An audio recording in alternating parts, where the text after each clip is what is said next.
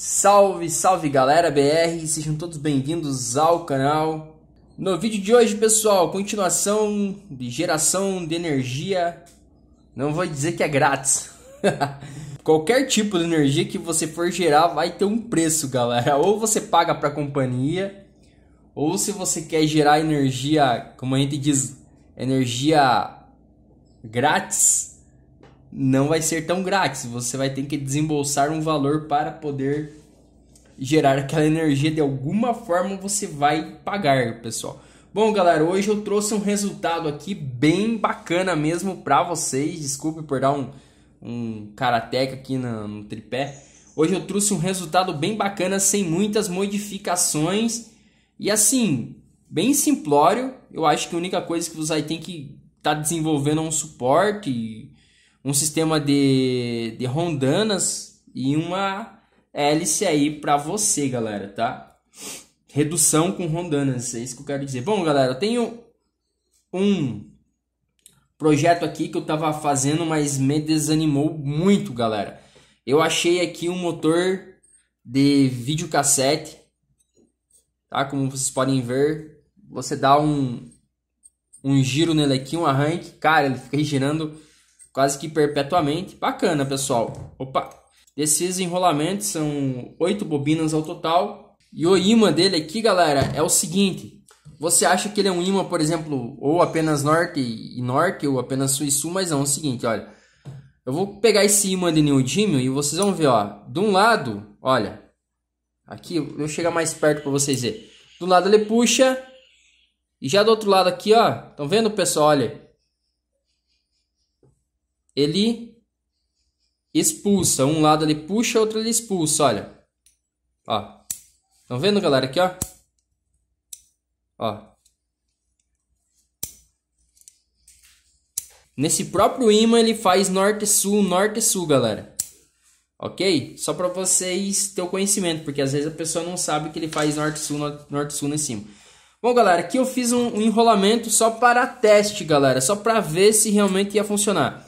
Eu peguei das 50 espiras desse lado, comecei aqui, 50 espiras, galera. Daí passei por baixo do fim desse, é, comecei o início desse mais 50 espiras. Coloquei essa carcaça aqui, pessoal, né? parte aqui, tá? Coloquei um parafuso aqui também. Eu vou até mostrar para vocês que eu não obtive é, nenhum resultado assim, galera. Dá pra gente fazer alguma coisa joinha, coisa que dá, galera. Mas a gente precisa ter uma quantidade assim, ó, de espiras igual dessa bobina de relé, como eu já falei no outro vídeo. Aquele gerador que eu fiz com bobina de relé, ele deu uma voltagem bacana, acendeu LED, carregou uma bateriazinha de celular de 400 mAh, até tá com LED lá, galera. Bem bacana, o gerador tá funcionando.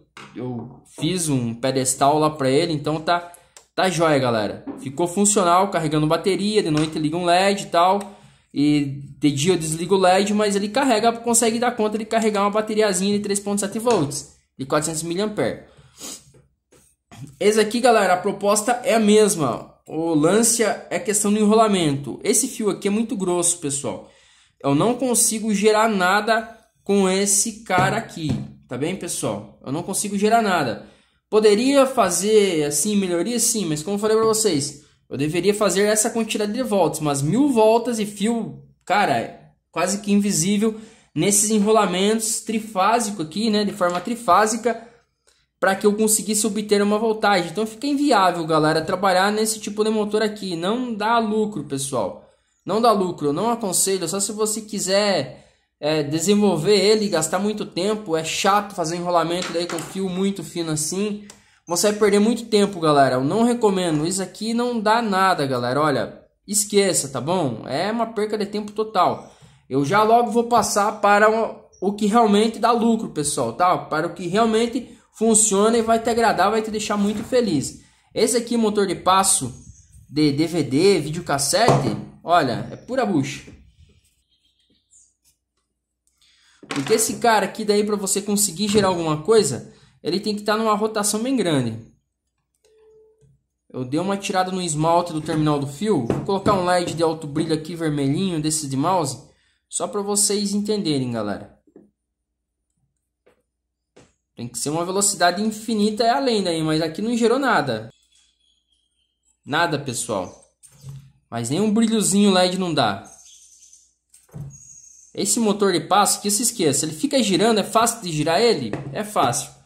Mas o trabalho que você vai ter aqui para fazer ele é no mesmo esquema daquele que eu fiz com as bobinas de relé. Por isso eu recomendo você fazer com bobinas de relé, galera. Ó, dá para utilizar essa parte para colocar é para colocar, pessoal, os ímãs, olha aqui, ou as bobinas. Essa rondana de alumínio aqui, galera, fica bom até para aquele outro projeto que eu vou mostrar para vocês. Aqui, galera, agora eu tenho outro aqui que eu acho que vai ser bem mais fácil, pessoal. E, cara, nossa, esse aqui é foda, cara. Realmente, esse aqui é top, pessoal. Sabe de onde é que eu tirei essa parada aqui? Vocês não vão acreditar, galera. Eu tava procurando, me batendo, cara. Falei, nossa, cara, mas tem que eu preciso fazer, cara, alguma coisa para gerar energia mesmo, galera.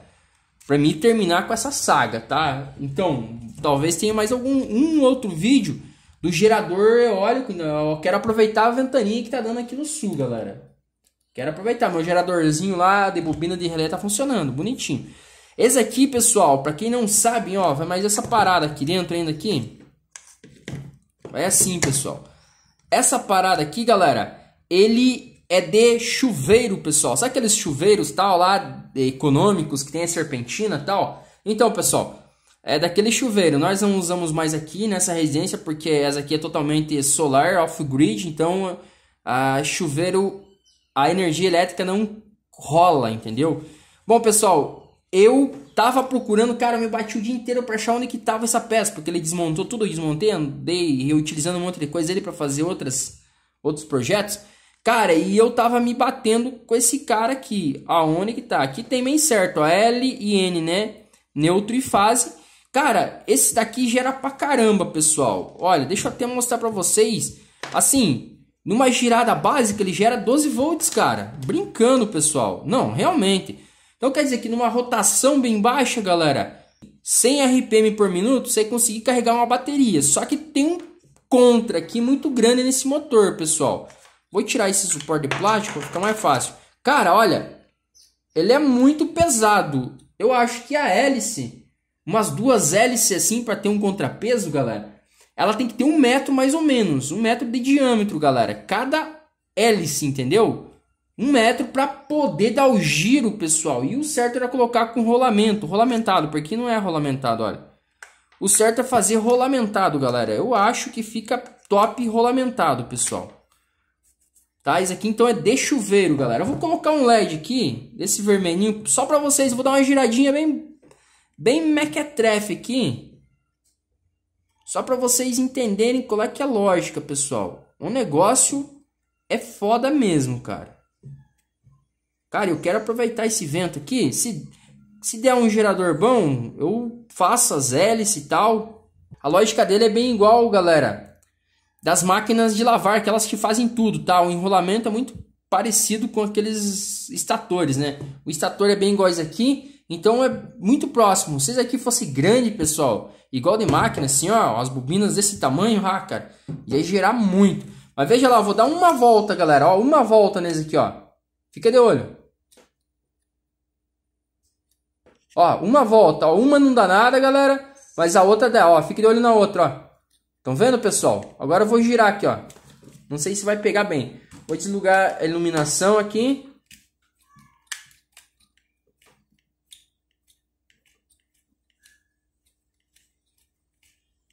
Cara, ele brilha muito, pessoal. Ele chega a girar quase 12 volts, pessoal. Assim, ó, só girando com a mão. Cara, olha, Quase que ele queima o LED, pessoal. Olha, vocês viram? Girando bem simples, olha, aqui. Eu vou pegar, pessoal, vou girar aqui, ó. Um não funciona, o outro vai agora, ó. Vocês viram? Ele gera uma corrente muito boa, galera. Muito boa mesmo, pessoal. Cara, é inacreditável. Vou deixar o multímetro na escala de 200 volts. Então, assim, com RPM bem baixinho, bem chinfrim, galera, a gente consegue gerar bastante, mas a gente vai ter que fazer o seguinte aqui, galera. Ver um eixo rolamentado, alguma coisa do tipo. É, e fazer com rondana, pessoal, assim. Na hélice, deixa eu ligar a iluminação aqui. Na hélice da turbina, que eu acho, eu acho que eu vou fazer com duas passos só porque ele dá um contrapeso. Na hélice da turbina, a gente tem que colocar uma rondana grande. Uma polia grande e aqui uma polia pequena, porque ele vai na polia grande e aqui na polia pequena, igual você pedalar, tá bom? Você precisa de um, um pouco mais de torque, mas aqui, galera, quando pegar um giro aqui, galera, olha aí, ó, fique de olho aqui, ó. Fique de olho aqui, pessoal, olha. Olha, ele não me dá a possibilidade de eu dar um giro top com ele. Mas o que ele já me permite aqui, ó, ele gera muito, pessoal. Olha, pessoal, agora fiquem de olho lá. Ó, foi até 13 volts.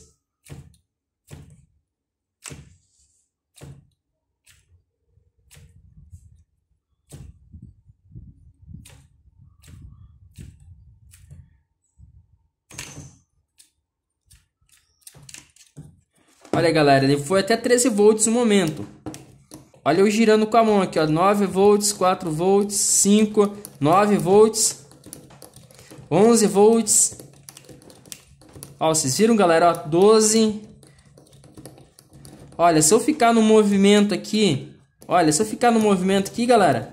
Ele vai passar de 12, foi até 14 volts. Até 14 volts, galera. Vocês viram? Eu girando com a mão, galera. Imagine dar um uns 200 RPM assim, fácil, fácil, cara. Só que ele é muito pesado, vocês viram que eu, olha, eu sofro um pouco aqui, pessoal, olha. Eu sofro um pouco para girar ele. Mas em compensação, ele gera bastante energia. Eu acho que vale a pena, galera. Olha aqui, eu vou tirar essa bobina, uma bobina que o pessoal já usa bastante para esses fins.